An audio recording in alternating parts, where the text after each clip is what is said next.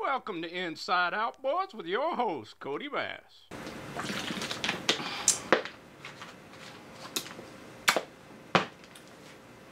Hello, everybody. Welcome back to the channel. Big hello to all you new subscribers. Thanks for stopping in and joining us here for some good old outboard fun. that was a mouthful. Um, yeah, so, um, boy, the weather just went to raining and blowing and nasty.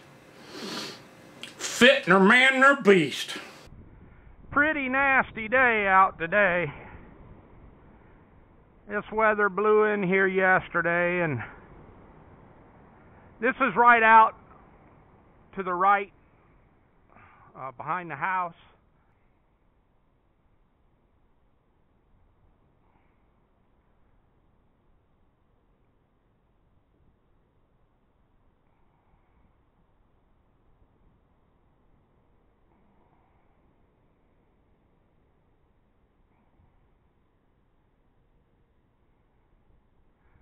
The Pacific Ocean.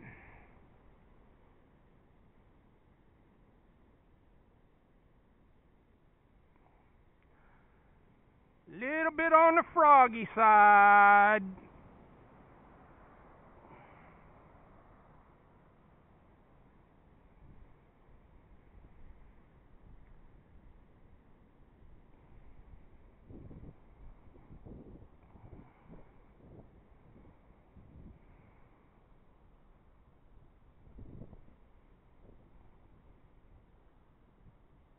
But, you know, I normally post like a midweek video and I didn't do that. I want to apologize for that and there's a reason. Um, did you notice my new wardrobe? A couple of you subscribers got on to me and said, uh, Cody Bass, um, it's time to retire that pair of coveralls. Well, see, in addition to being a geezer, I'm also a short squatty body. And I can't go down to my local hanky hardware here or even my local Walmart and buy coveralls in my size. And down at our local ship supply hardware that do you know what they get for a set of Dickies coveralls and uh, in 48 to 50 regular. Now therein lies the problem. You see, I take a 49.50 short, or a 48.50 short, and I've never seen them for sale in the 40 years I've lived here, in short. So, get on that Interscreen and get them. Nope, I could not find them anywhere on there. This is a particular brand that I like. I think they're called Red Kap and they I like them in the 50 short Red Kap. They just seem to be way more comfortable, and uh, so I had to go to the big city. Good morning, everybody. I just got out here in my truck, and I'm fixing to start it up. And if you wonder why I'm sitting out here in the dark, um, because it's about 4.45-ish a.m. in the morning. So you're like, why are you sitting out in your truck at 4.45 in the morning? Well, I'm going up to the big city. The big city of Anchorage, Alaska. So I'm on my way to catch an aeroplane to fly couple hundred miles across the big Pacific Ocean pond. Get in that aeroplane and go to the big city. I got a medical appointment over there. I'm going to do some shopping. I'm going to take one of my little mini cameras if I have the time to film anything or whatnot. But anyway, I'm off to the big city. I'll see you later. Well, you might be able to tell that uh, I'm not on a little island. at this time. I had to come over to the big city to, uh, well, the VA sent me over here for a medical appointment. And, uh, so I'm gonna be riding around the giant city metropolis of Anchorage, Alaska. And I'm in a, a hybrid EV rental car. Never seen anything like it.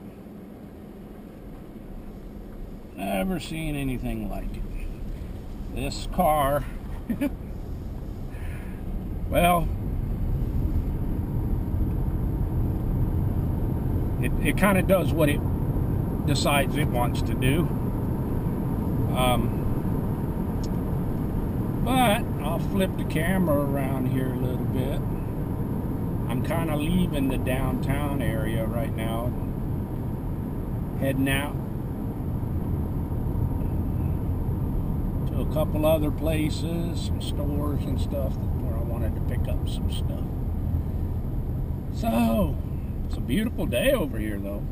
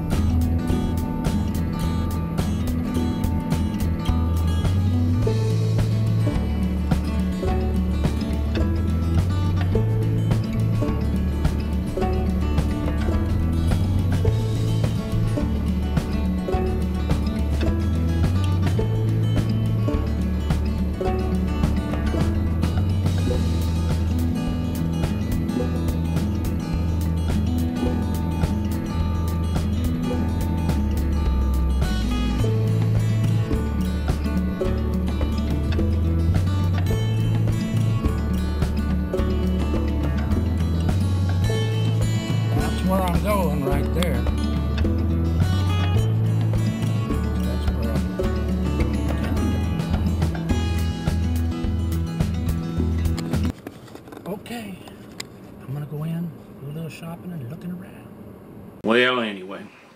Um, so, before we get started, back on uh, this outboard that we've been, uh, that I just started, I think, last video.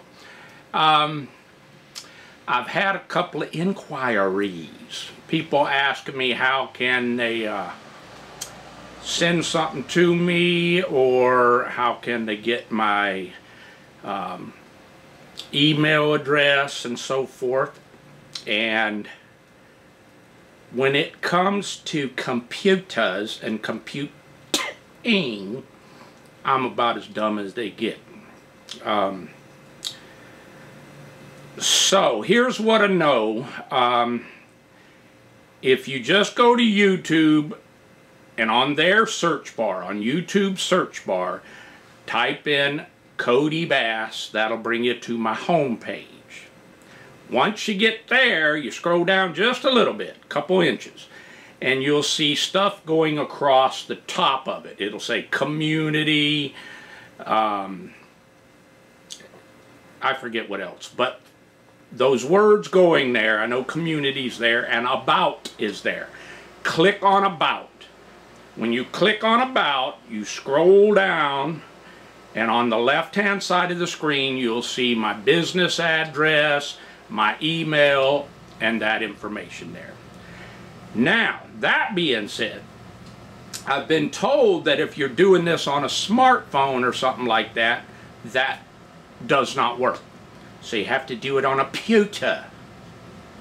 Pewter, so I'm told. Um, and I don't own a smartphone.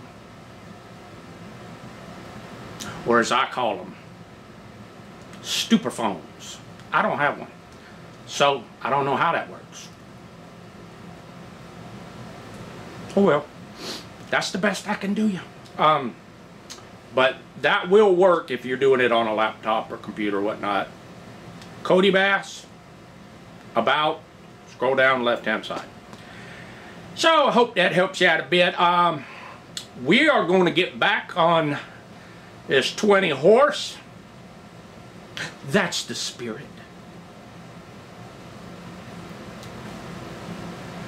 A 20 horse spirit arc arctic an arctic um, uh, supposedly had a couple people say yep that's how these things came about is that they Suzuki rebadged them for Arctic Cat and they tried to sell them for a couple years, two, three, I don't know. I honestly don't know how, how long. This is the only one I've ever seen. Um, and even on YouTube, where there are some, there's not a 20 horsepower. I have the only one! I have the only one! Um, yeah, I've never seen another one. But it's definitely, it's funny, I was looking at this thing, and it's definitely got a Suzuki shifter on it. Well, I guess I could I could take that back. Maybe it don't. Maybe it has a Nissan. Nissan? Nissan? Something's on. But anyway, I guess it could be a Nissan. Let me spin you around. Let me spin you around. I show you. I show you. See that? See that blue? Try not to shake you too much. The shifter. The shifter. Matches my glove. Um, the Suzuki ones and I guess the Nissan ones look just like that. But I do believe somebody has affixed it a Johnson, that that's definitely Evinrude right there. You see that? That so this thing has a Johnson shift handle, an Evinrude hook. I'm going to replace that one with a brass one. And you say why? And I say because I has one. Yeah, I have a brass. These used to be brass, and I have one. Um, Yeah, that's Evinrude blue. That's Johnson white. And that's Nissan. Sorry about that, but my battery died. So, yeah, so we got a, a Nissan, Nissan, Nissan, Nissan. Shift handle, an Evinrude latch, and a Johnson latch handle, and then if you look right up in here, you can see some some plumbing parts. Brass plumbing parts. So, but the cool thing is, I get you up there.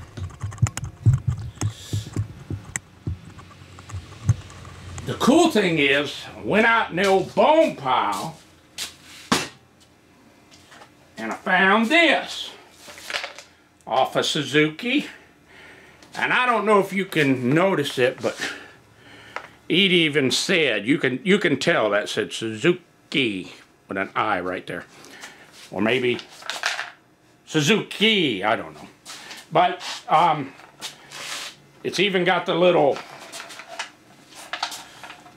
I still got two of the three screws. What the heck is that? Um, I got two of the three screws, and if I can get it out of here, I've got this So I took this and lined it up, the gaskets and all on there, and they're the same. So I got a an air box to put on it now. So that was good. One last thing. You understand? So, let's get back to it. Let me uh, pry that impeller up and I'll show you. It's kind of different looking, a little bit different. But this thing wasn't there. When I pulled that whole water pump housing up, it lifted up. That's what it was. Yeah, okay. But, up we go. And let me get the key. Wow, look at the size of that. I'll show you, I'll show you. Let me get... I'll show you, I'll show you.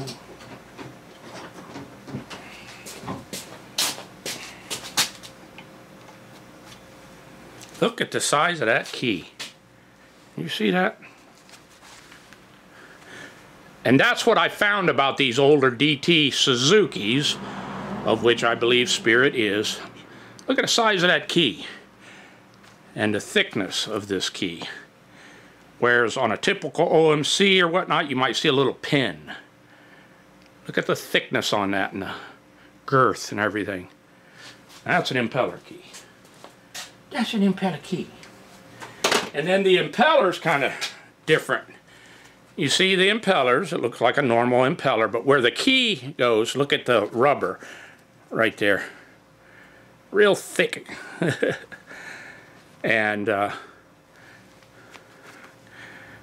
I can't tell if that's metal in there or not. I'd have to clean it up yet, but a little bit memory set, but you know, that impeller was doing its thing. It, it doesn't look all brittle or bad. It does look worn on the contact surface is pretty bad.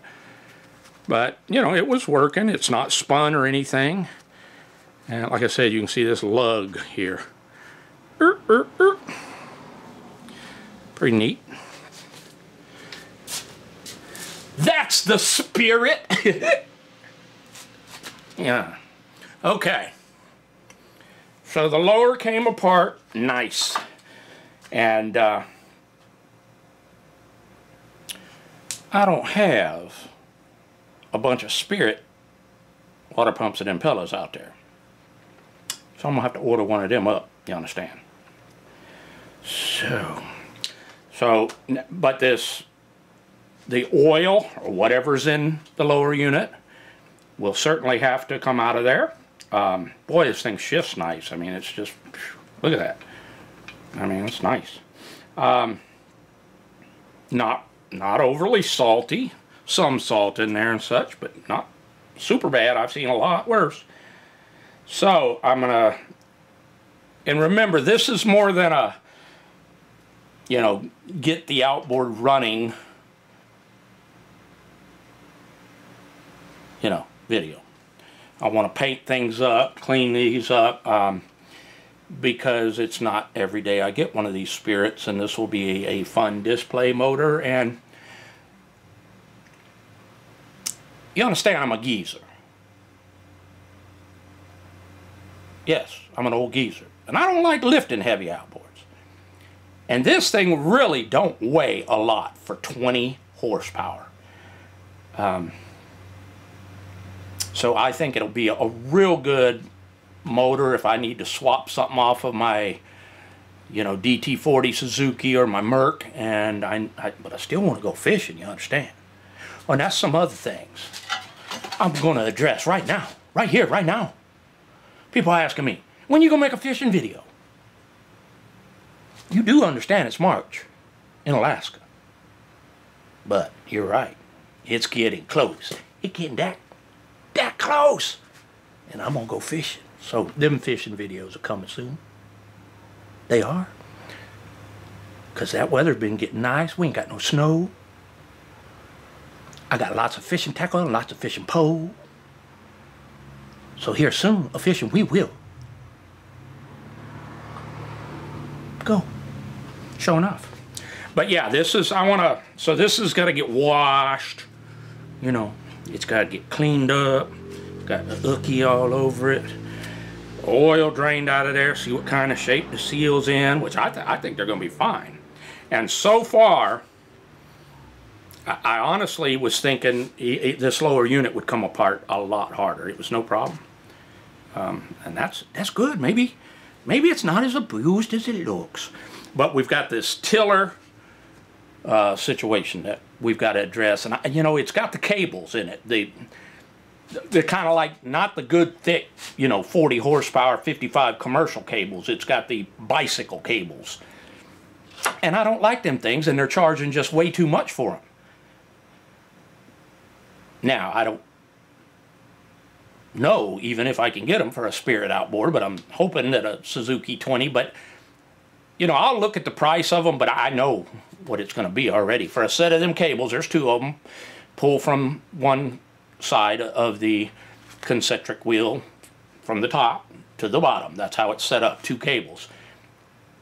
If they have them for an 80 something Suzuki 20, um, my guess is it'll be a, probably about, if not slightly over 100 bucks.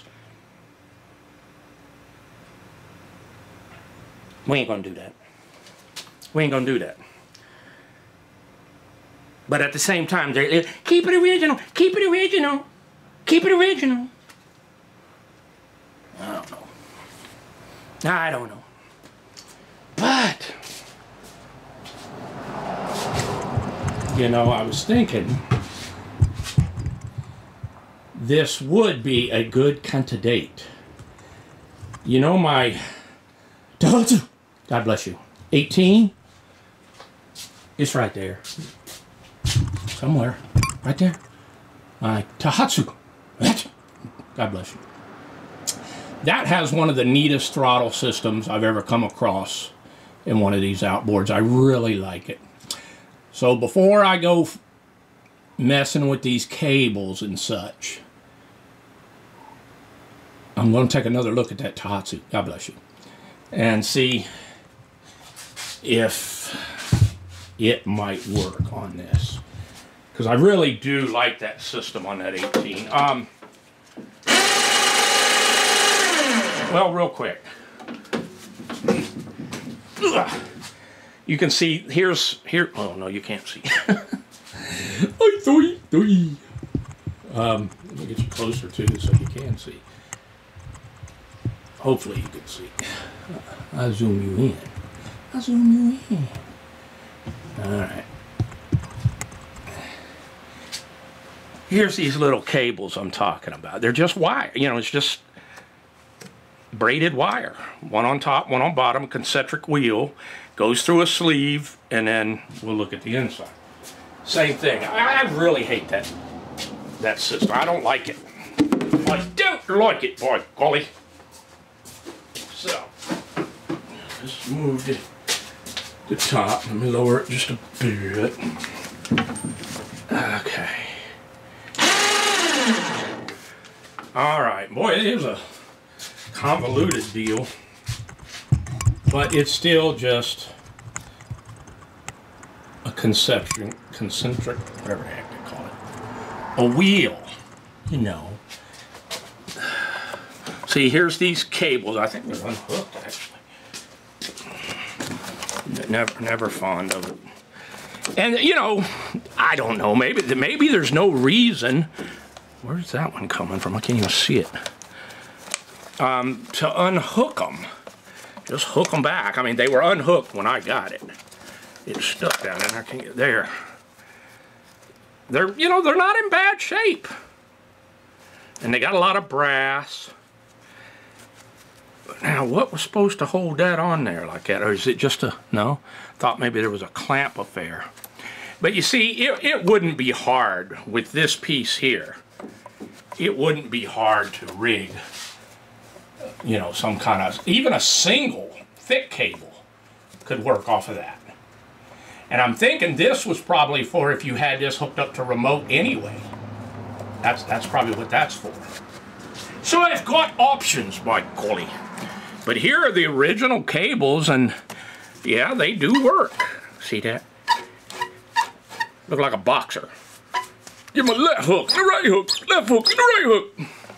But they're not in bad shape. They just, but I mean, that has to stay on there somehow. Maybe it's just the length or, I don't know, i have to look at it closer. What do you think? I do like the brass. I'm a, I'm, I'm a sucker for brass in outboards. And Suzuki is, is good about using it. So I do like to, see this? See what I mean? On the carburetor. Just like the old OMCs. Brass. That shows class, brass. Now, I found some more bronze brass, whatever it is, but something told me this is Bubba and not Suzuki. Look at those fuel fittings. Can you see that? I think that's more Bubba than uh, Mincimoto or whoever made these. Look at look at that. That looks like plumbing fittings to me. Yeah, that, that looks like he was trying to run a sink, not an outboard. But uh, hey, at least he went with brass. Bronze, brass, whatever it is. Yeah. So, I'll be back.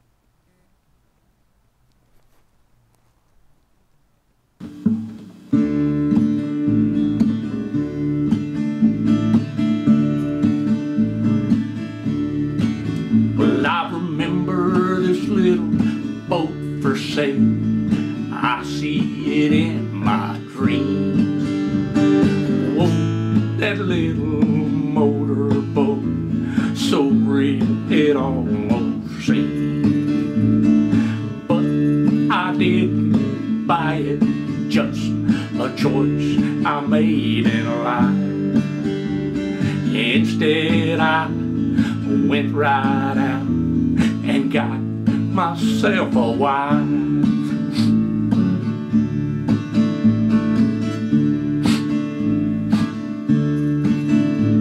The years went by, I decided I'd go and get along. Instead of buying me a boat, I bought a new mobile home.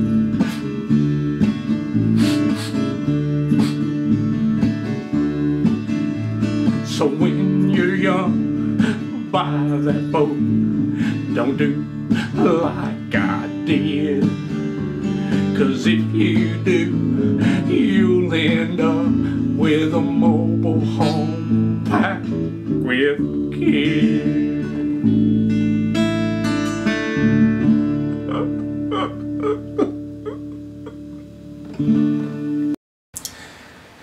Telling you, working on this engine so far is like, uh, you know, a time warp.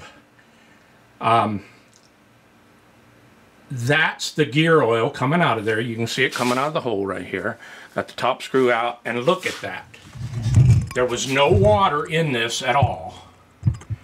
When was the last time you saw green, old school Quaker State looking gear oil? Yeah, I mean, literally there was no water in it. And, and the oil, it, it does not have that old crude oil smell to it. Um, it's literally like going back in time. Yeah, look at that. It's green, old school Quaker State gear oil. I actually have some of that around here. Here's what I'm talking about, this old Quaker State. Look, look at what comes out of this spigot. See that green oil? the old green Quaker State. Um, yeah, this is an old bottle that I, I've had. Now this is the outboard motor oil, but their gear oil, it, it came in the same thing like this. And the uh, uh, it came in the tubes. I, I, have some of the old tubes around here too, but uh, I only use it. I, I, use this. See that nice brass spigot on there? Did I mention I love the brass? Um, I use this like on my vise, but anymore I've got so much used gear oil and stuff. I use use used gear oil, but uh, that's the old school Quaker State, and that's what that stuff looks like. So that lets me know that that oil has been in there a generation or two. So, yeah. Yipper. Well, I thought I'd show you my little uh, lower unit pressure tester thingy majib. Um, I made this one years ago. I don't know what I took the gauge off of. It only goes to 100 psi. It might have been one of those little small, like, buy at Walmart, almost disposable compressors. Could have been that. But all it is, is a brass T. And then you screw, I screwed the gauge in. Then I screwed some hose and clamps. And if you look on this end, this is the end that goes to the lower unit.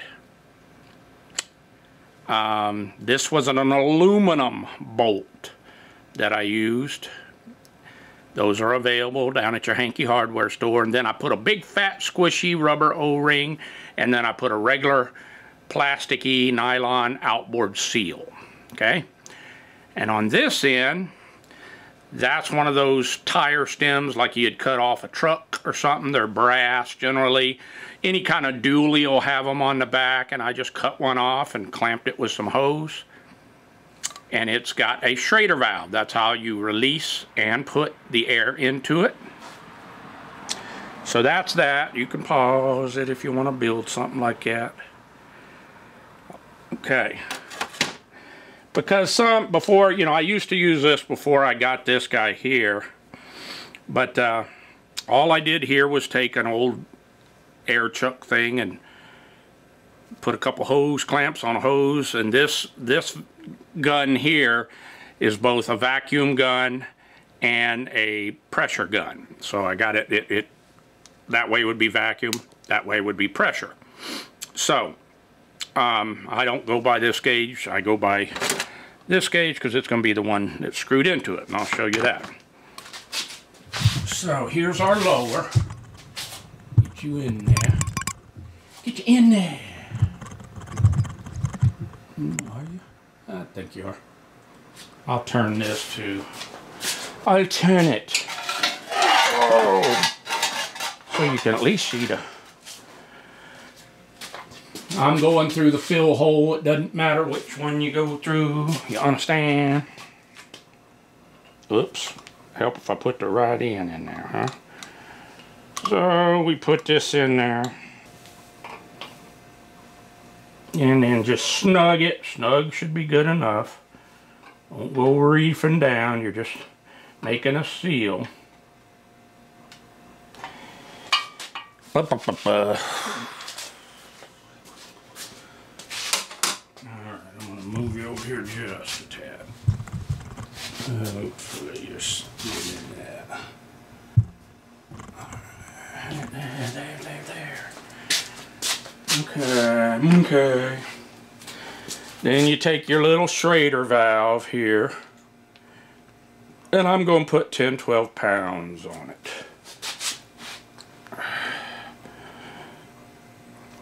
Oh yeah, you can see it's on zero.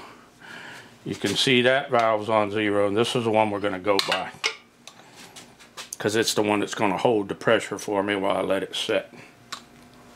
Well, I don't know if I can get this thing to... Hey, maybe that'll work. Nope, my sleeve's in the way. Let me come over here on this side.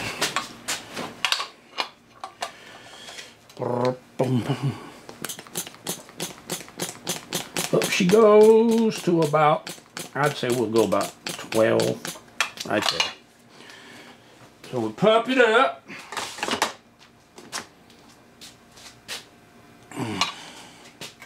And the way I'm going to let that pressure off there is that little Schrader valve, just like I, letting air out of a tire. I'm just going to push it and the needle will go to zero. But we're going to let that stay there for a little bit. I got it on about 10, 11, 12, 13, PSI. And uh, then you want to take some kind of soapy water, like them so, like them so. See if you see any bubbles. Spray it around your prop shaft seals. Spray it around your drain, your screw, your overfill, screw being the shift cradle, and then up top here. And I can tell it's holding, and I'm sure it'll hold just fine. Um,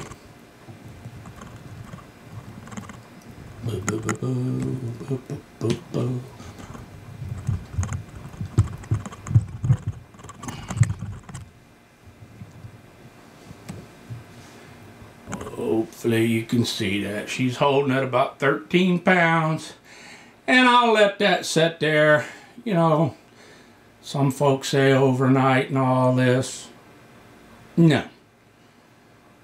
If you spray soapy, yucky water, and well, not yucky, but soapy dishwater all over that thing, full of soap, and you ain't getting no bubbles, then you can think of it as a tire on a rim it's either leaking or it ain't. Um, let that sit there for 20 minutes and if it holds and don't move at all, you've got a good lower unit. So it, uh, I'm going to, uh,